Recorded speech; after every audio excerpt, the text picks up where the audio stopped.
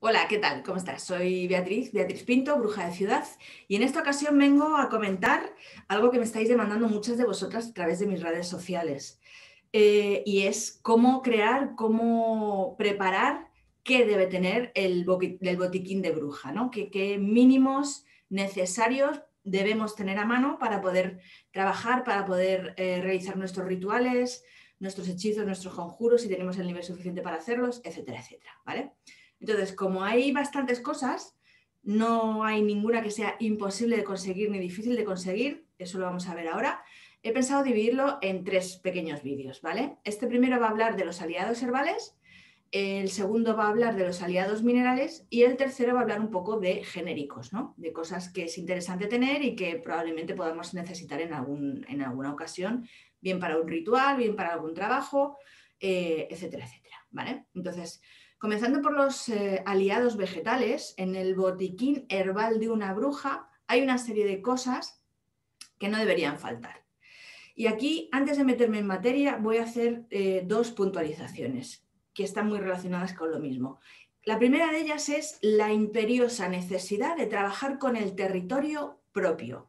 Es decir, si yo vivo en Madrid, investigaré eh, cuáles son las plantas que se dan en esta comunidad, en mi ayuntamiento, en el bosque al que me acerco cuando salgo a pasear al bosque, en el parque al que voy a pasear o a meditar, etcétera, etcétera. En el ámbito natural de mi entorno, tanto en el que me relaciono de forma práctica y brujeril, como el que me rodea mientras voy paseando, ¿vale? Toda la naturaleza que hay en mi entorno se puede convertir en mi territorio de trabajo. De eso ya hablaré en otra ocasión porque eso es largo y tendido. Pero bueno, quédate con la idea.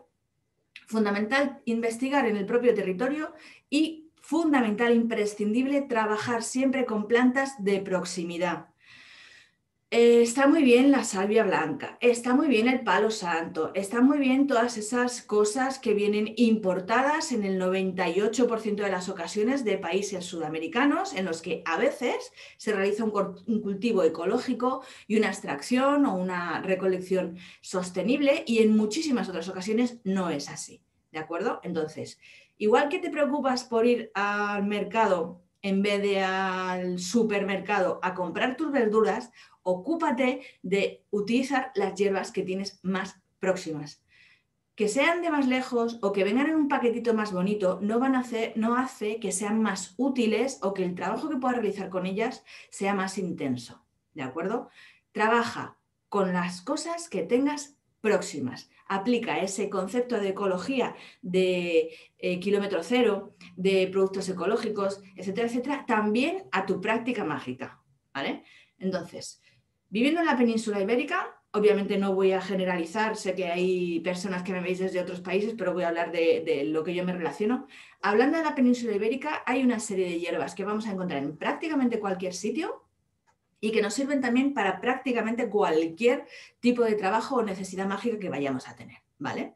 Entonces, vamos a empezar por los básicos de trabajos mágicos o de necesidades básicas que vas a necesitar cubrir. ¿no? Y estas, las más habituales son las limpiezas, las protecciones, todo lo que tiene que ver con la salud, todo lo que tiene que ver con las relaciones y el amor del tipo que sea, y todo lo que tiene que ver con la paz interior, el bienestar personal, etcétera, etcétera. ¿vale? Estos serían como los cinco grandes básicos. Luego hay otros, como puede ser el trabajo, la justicia, etcétera, etcétera, pero eso se puede hacer una combinatoria. Vamos a trabajar con estos cinco grandes básicos, ¿vale? Entonces, eh, en la península ibérica, como digo, hay hierbas que se pueden utilizar para cualquiera de, estas, de, estas cinco, de estos cinco básicos, ¿de acuerdo?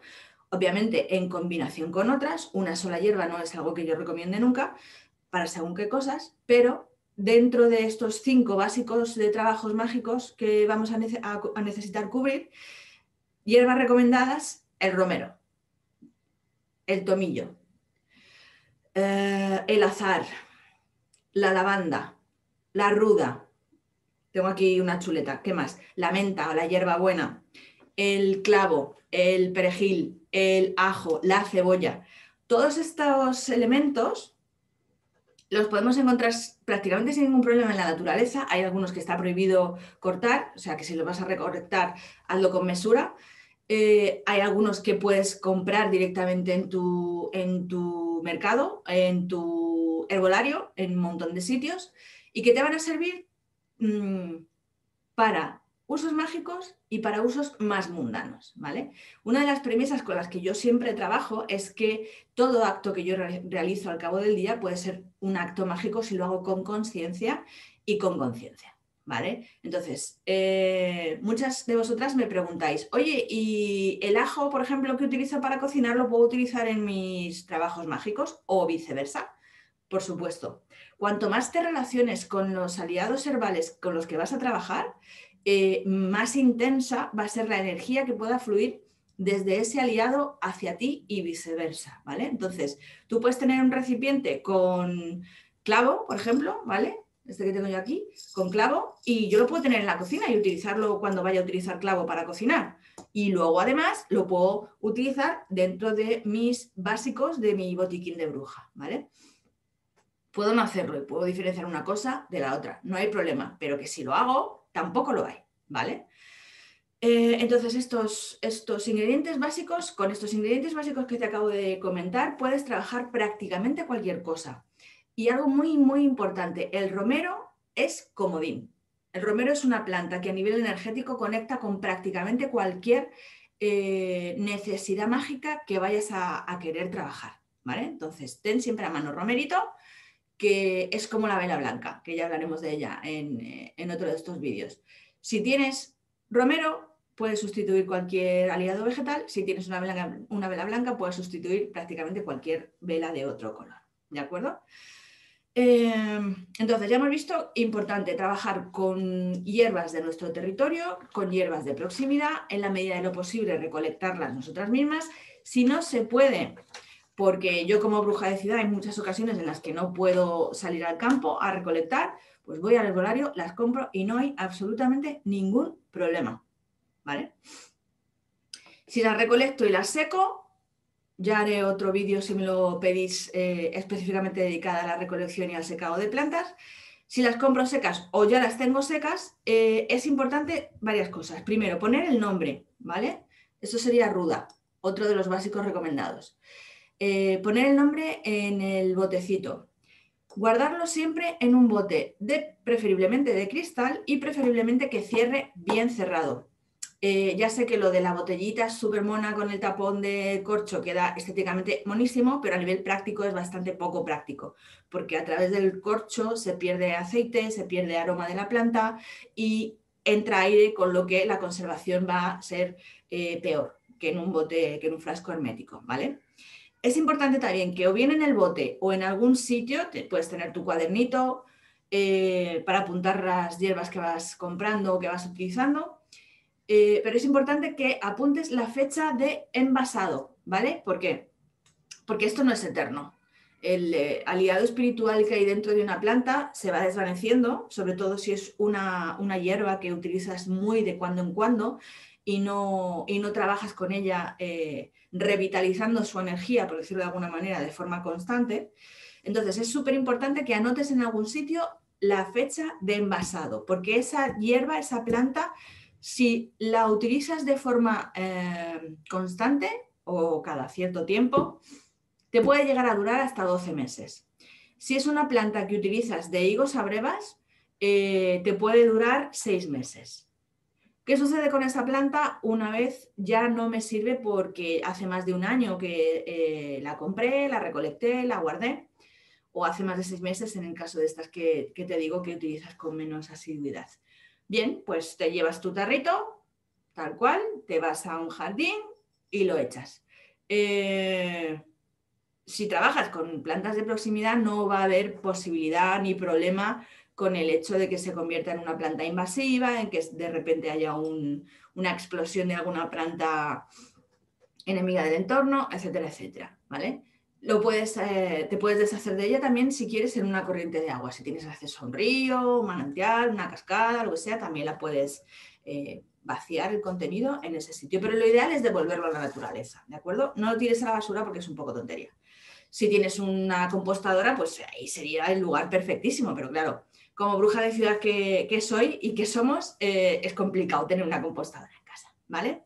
Bien, Entonces, hemos hablado de guardarlo en un tarro, preferiblemente que cierre hermético, apuntar el nombre y apuntar la fecha. Vale, otra cosa súper importante, si las eh, eh, guardas en tarros de cristal transparente, procura que no estén en un lugar donde les dé la la luz directa. ¿Vale? En una habitación como la que estoy yo, en la que hay una luz eh, relativamente indirecta, no hay problema. Pero si estuviera en un lugar en el que en algún momento del día o a lo largo de o durante todo el día les está dando mucho sol, no, no interesa. Las tendría que poner o en tarros opacos o pintarlos o guardarlo dentro de algún mueble para que no le diera la luz del sol. ¿Por qué? Pues porque la luz del sol facilita la evaporación de esos aceites de los que he hablado antes, que con el corcho pues también se evaporan, ¿vale? Entonces, en la medida de posible, en la medida de lo posible, perdón, tarro hermético de cristal y que no le dé el sol directo, ¿de acuerdo? Y luego, pues eso, eh, Puedes tener un armario específico, un mostrador, donde tengas un aparador, donde tengas todas tus hierbas, fantásticamente. Las que vayas a utilizar o las que veas que pueden tener un uso culinario, las puedes tener directamente en la cocina. Eh, sobre todo si tú vives sola y eres tú la única persona que las va a tocar. Si hay otras personas que cocinan en tu casa y no te apetece que tu hierba tenga esa energía, pues entonces te recomiendo que si quieres utilizarlas a la hora de cocinar, las recojas de tu mueble de bruja, de tu armario de bruja, y las utilices y luego las, devuelvas a su lugar. Pero en principio no hay absolutamente ningún inconveniente en utilizar las hierbas mágicas, los aliados vegetales, eh, en la cocina. ¿Vale? Luego en el, en la presentación del vídeo te voy a poner las hierbas que, te recomiendo y alguna más si se me ocurre, ¿vale? Teniendo siempre presente eso, que estamos en la península ibérica, que yo hablo desde Madrid, capital en concreto, y que no pasa nada si no recolectamos nuestras hierbas, ¿vale? Vuelvo a lo mismo, territorio y proximidad, ¿de acuerdo? Bueno, espero que te sirva. Si tienes, como siempre, cualquier duda o cualquier pregunta, escríbeme, que me encanta que lo hagáis, además y bueno, intentaré resolverla. Y el próximo vídeo será sobre los aliados minerales, ¿de acuerdo? Espero que nos veamos. Un saludito, chao.